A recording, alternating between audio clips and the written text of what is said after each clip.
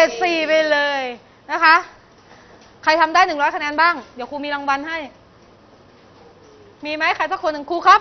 เทอมนี้นะ วิชาประวัติศาสตร์ของครูนะ ผมนะได้เกรดสี่แน่นอน ยกมือขึ้น ไม่มีใครสัญญาเลย ถ้าไม่สัญญาไม่เป็นไร เดี๋ยวแจกเกรดศูนย์ทั้งห้องก็ได้สองทับหนึ่งเอาก็ไม่มีใครอยากได้เกรดสี่ก็เอาเกรดศูนย์ไป อ่านักเรียน ทบทวนเกณฑ์ระดับผลการเรียนนิดนึงนะคะนักเรียนไม่ต้องจดสไลด์นี้นะคะ ทบทวนนิดนึง ถ้านักเรียนอยากได้เกรด 4 วิชาครู นักเรียนต้องทำให้นักเรียนได้คะแนนกี่คะแนนขึ้นไปคะ 80 คะแนน ถ้านักเรียนอยากได้เกรดศูนย์ล่ะคะ ใครอยากได้เกรดศูนย์บ้างยกมือขึ้น ไม่มีเลยอะ ใครอยากได้เกรดสี่บ้างยกมือขึ้น เดี๋ยวจับกล้องไว้นะ ใครไม่ยกมือจะให้เกรดศูนย์ อะเอามือลงค่ะเนี่ยขอให้เกรดสี่ทุกคนนะ วันนี้แจกเกรดสี่ทุกคนเลย เอาไหมคะ เอานะคะ แต่ถ้าคนใดคนหนึ่งไม่ส่งสมุดจะได้ไหมเพื่อนจะได้ไหมไม่ได้ เพราะฉะนั้นไประยำกันเองนะอะนักเรียนเกณฑ์คะแนนนักเรียนรู้แล้วใช่ไหมคะอะถ้าเราเป็นเด็กดี ส่งสมุดครูทุกครั้งทำข้อสอบก็ผ่านตั้งใจเรียน เราจะได้เกรดอะไรคะนักเรียน เกรดสี่ถ้าสมมุติว่าเราขี้เกียจการบ้านไม่ส่งครูสั่งงานไม่ทำจดก็ไม่จดเฮ้ยครูจงรักก็ให้เกรดศูนย์สอบก็สอบตกเครียดไหมเครียดนะคะ เราจะเป็นแบบแรกหรือแบบที่สองกันคะนักเรียน แบบแรกนะ ห้องสองทับหนึ่งไม่มีแบบที่สองเหรอคะ มีไหม ไม่มีนะ ไม่เดี๋ยวได้ไปบอกครูที่สอนไว้ มีหรือเปล่า ใครอยากเครียดบ้าง ใครอยากติดศูนย์วิชาประวัติศาสตร์บ้าง ไม่นะ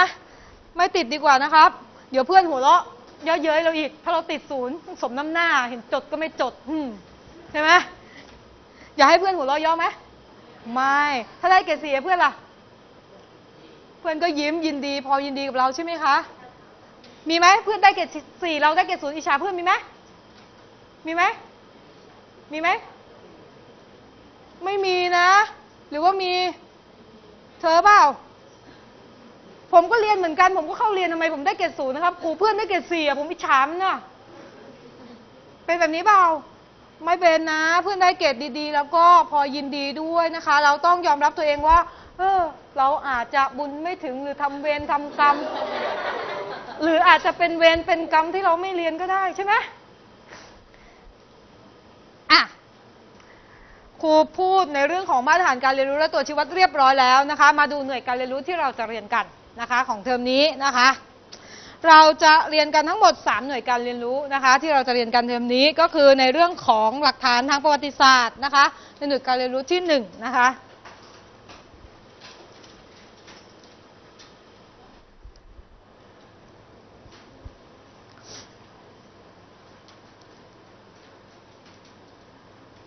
ในเรื่องของหลักฐานทางประวัติศาสตร์นะคะนักเรียนก็จะเรียนกัน 3 ชั่วโมงนะคะ ชั่วโมงแรกก็ในเรื่องของหลักฐานทางประวัติศาสตร์ ชั่วโมงที่ 2 ก็ในเรื่องของวิธีการประเมินความน่าเชื่อถือของหลักฐานทางประวัติศาสตร์ แล้วก็รวมไปถึงการแยกแยะหลักฐานทางประวัติศาสตร์นะคะ ชั่วโมงที่ 3 ก็จะเป็นในเรื่องของการตีความหลักฐาน และการวิเคราะห์ข้อมูลจากหลักฐานทางประวัติศาสตร์นั่นเองนะคะ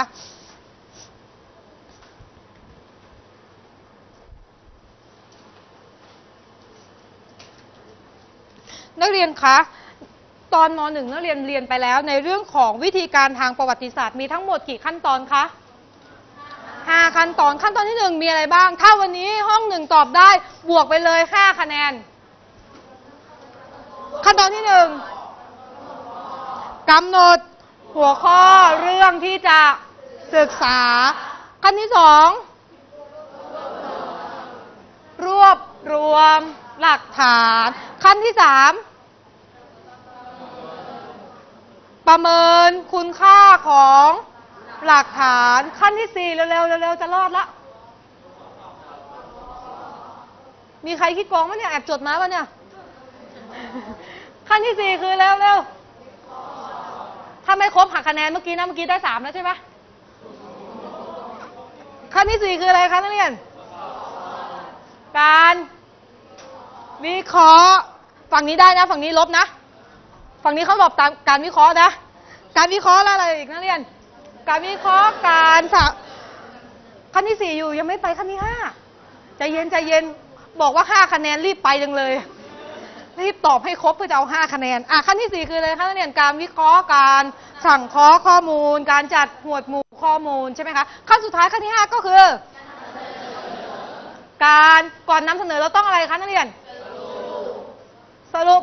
เรียบเรียงใช่ไหมคะนักเรียน ข้อมูลเพื่อที่จะนำเสนอข้อมูลอะได้บ้างไม่ได้บ้าง 80%ที่ตอบได้อะวันนี้บวกไว้นะครูจงรักให้ห้อง2ครับ1ห้องเดียวคนละ 5 คะแนน เดี๋ยวไว้เวลาเธอสอบตกกลางภาคไงจะเอาคะแนนได้ไปบวกให้ โอเคเปล่าโอเคนะไม่ใช่ว่าผมมี 5 คะแนนแล้วผมไม่ส่งสมุด 5 ชั่วโมงได้ไหมได้ไหมคะ ไม่ได้โอเค ติดไว้ 5 คะแนนนะ ถ้าครูไม่ลืมนะ ถ้าลืมแล้วก็หายกันไป โอเคไหมอาค่ะนักเรียนในหน่วยการเรียนรู้ที่หนึ่งในเรื่องของหลักฐานทางประวัติศาสตร์นะคะนักเรียนอะมาดูหน่วยการเรียนรู้ที่สองกันนะคะ ที่เราจะเรียนกันนะคะ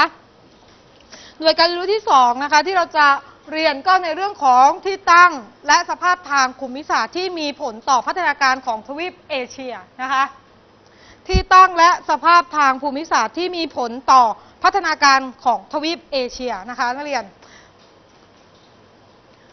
ทวีปเอเชียเนี่ยแบ่งออกเป็น 5 ภูมิภาคใช่ไหมคะนักเรียน เมื่อกี้ครูบอกแล้วว่ามีหนึ่งภูมิภาคที่เราจะไม่ศึกษากันตอนที่เราอยู่ม .2 ก็คือภูมิภาคอะไรคะนักเรียนนั่นลบหนึ่งคะแนนแล้วเมื่อกี้เพื่อนบอกเอเชียกลางลบลบทั้งห้องอะเหลือสี่นะ เมื่อกี้เธอตอบเอเชียกลางเปล่า ครับแน่เหลือสี่แล้วไหมเดี๋ยวหมดชั่วโมงก็เหลือศูนย์เชื่อเถอะ ถ้าไม่ตอบก็ลบ ถ้าตอบผิดก็ลบ ลบเรื่อยๆ อะ ทวีปเอเชียนะคะ แบ่งออกเป็น 5 ภูมิภาคนะคะ ภูมิภาคเอ เชียตะวันออก ภูมิภาคเอเชียตะวันออกเฉียงใต้ ภูมิภาคเอเชียใต้ ภูมิภาคเอเชียตะวันตกเฉียงใต้ แล้วก็ภูมิภาคเอเชียกลางใช่ไหมคะ เราจะเรียนกันทั้งหมด 4 ภูมิภาคยกเว้น ภูมิภาคเอเชียตะวันออกเฉียงใต้นะคะเนี่ยสไลด์นี้ไม่ต้องจดให้ดูเฉยๆว่า มีทั้งหมดกี่ภูมิภาคนะคะ แล้วอะไรที่เราจะต้องเรียนบ้างอะไรที่เราจะต้องศึกษาบ้างนะคะ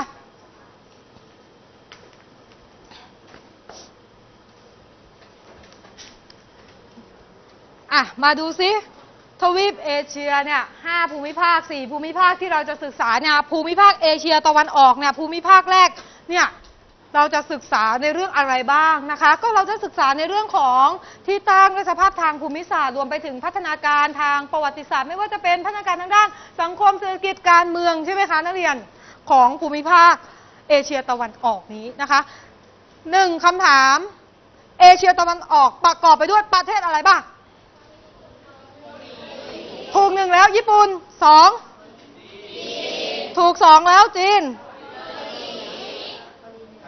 เกาหลีเหนือสามเกาหลีใต้สี่อะไรอีกไต้หวันไต้หวันนักเรียนไต้หวันเนี่ยมันเป็นส่วนหนึ่งของประเทศจีนค่ะนักเรียนอะอีกหนึ่งประเทศ ประเทศอะไรเอ่ยอีกหนึ่งประเทศตอบไม่ได้ลบตอบได้บวก เมื่อกี้บอกว่าไงมีจีน มีญี่ปุ่น มีเกาหลีเหนือเกาหลีใต้ อีกหนึ่งประเทศคือ เมื่อกี้ได้ยินแว่วๆแล้วได้ยินแว่วๆแล้วได้ยินแว่วๆแล้วไม่กล้าตอบตอบได้ครึ่งๆจะผิดหรือถูกวะอ่าเมื่อกี้ได้ยินแล้วถูกละอีกหนึ่งประเทศคือ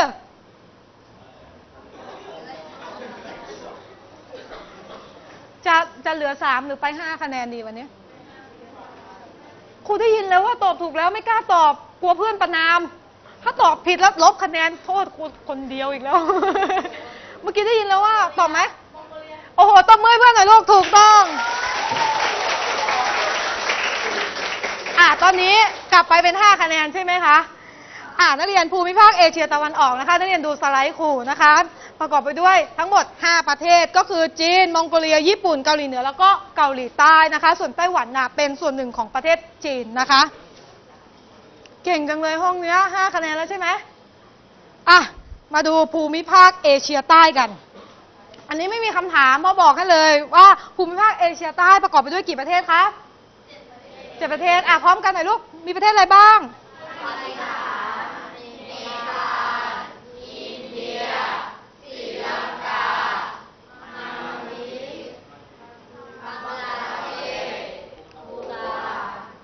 เก่งมากเลยตอบได้ทุกประเทศเลยอะ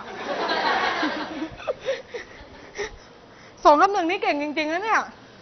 อ่านภาษาไทยก็ออกด้วย อะ ภูมิภาคที่สามที่เราจะเรียนกันก็คือ ภูมิภาคเอเชียตะวันตกเฉียงใต้นะคะ ภูมิภาคเอเชียตะวันตกเฉียงใต้มีประเทศอะไรบ้างคะนักเรียน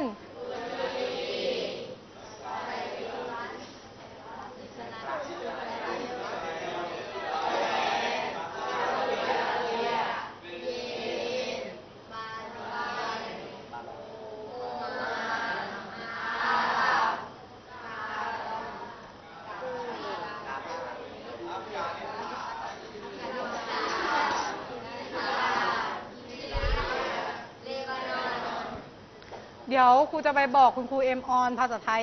บอกว่าให้ตามหักคะแนนหน่อย อ่านภาษาไทยไม่ชัดเจน วันหลังถ้าเจอครูครูดูตารางนะว่า วันนี้ออกออกอากาศครูเจอสองคำหนึ่งครูจะต้องแปลภาษาไทยเป็นภาษาอังกฤษทั้งหมดเลยเพราะว่าสองคำหนึ่งอ่านภาษาไทยไม่เป็นเนื่องจากเก่งเกินไปอ่านเป็นแต่ภาษาอังกฤษ ในชั่วโมงต่อไปเราประวัติศาสตร์ภาคภาษาอังกฤษกันนะ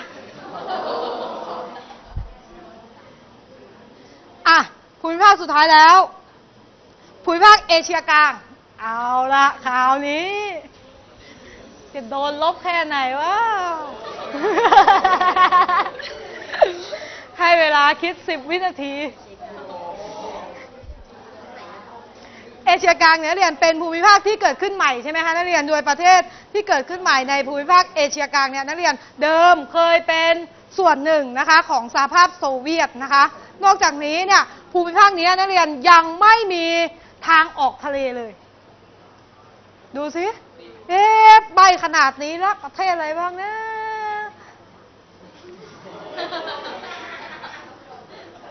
อะ ขอสามประเทศ